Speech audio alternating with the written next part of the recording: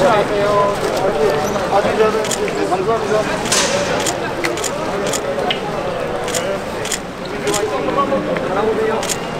선생님, 선생님, 소리 불러서 한 번만. 네.